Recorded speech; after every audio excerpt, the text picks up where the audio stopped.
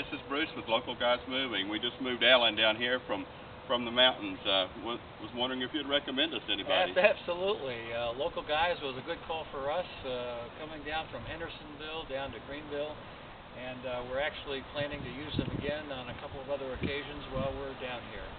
So uh, I would recommend uh, these guys to anybody. Did a fine job and didn't break a thing. So it was great. That's what it's about, folks. Local helping local. We really appreciate the work.